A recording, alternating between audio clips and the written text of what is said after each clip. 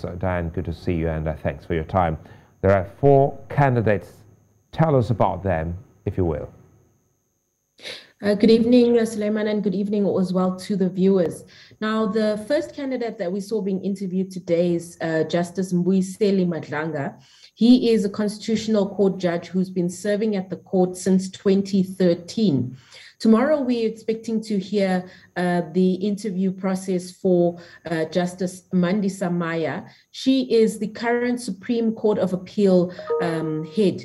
And following her, we will hear from um, Justice Raymond Zondo, the acting Chief Justice, as well as Judge Dunstan Mlambo, who is the head of one of South Africa's biggest High Court divisions, which is the High Court Division here in Gauteng. So, quite an, uh, an eminent group of judges.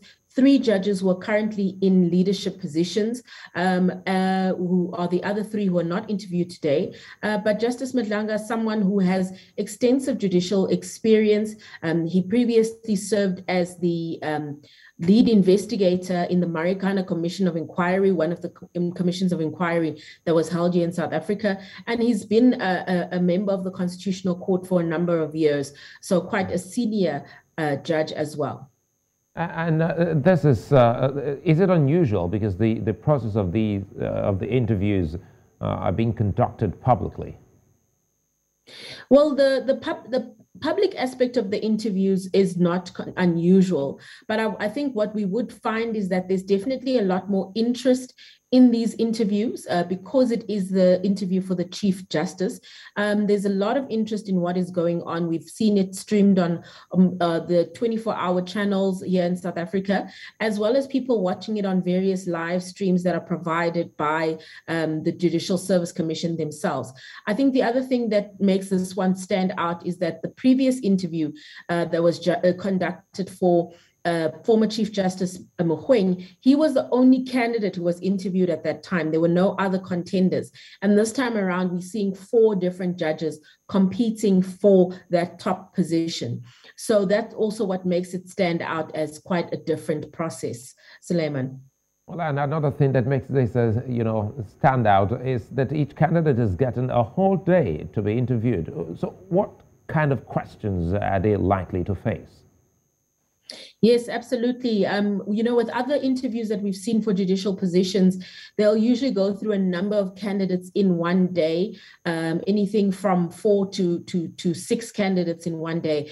But in this instance, because it's the top position of Chief Justice, we're seeing that the candidates have each been given one full day. Um, and in fact, today's proceedings began at around 10 o'clock and only concluded after 7 p.m. So the, the commissioners are really using as much of their time that's available to them as possible. In terms of questions, there are obviously a lot of questions about the leadership ability of um, uh, the judges. There's also likely to be questions about um, issues of transformation on South Africa's judiciary.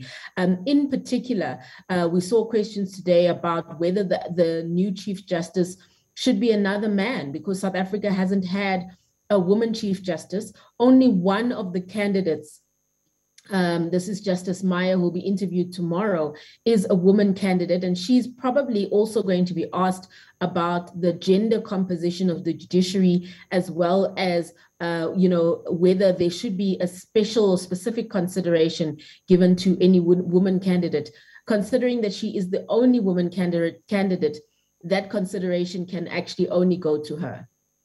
And uh, in today's interview, the leadership issue came up. And um, how important is this? It's an extremely important uh, issue, Sulaiman, um, because the Chief Justice leads the Office of the Chief Justice, which is a government department which is tasked with actually uh, uh, running the administrative activities of the courts. This can be everything from uh, case flow management to ensuring that judges have adequate resources to do their jobs, for example. So it's a very important office because they're not only the head of the highest court, but they also may have to make sure that all the courts uh, below them are functioning optimally. This has become a very important um, aspect, particularly with the COVID 19 pandemic, where South African courts are trying to move into a better position as it as relating to technology There's still a lot of paper being used in the South African court system, and the judiciary has been saying for some time that it wants to digitize the process and make sure that more people are getting access to justice through ensuring that technology is uh, well considered. Well, Dianne Hawker, many thanks uh, for your time. Thank you.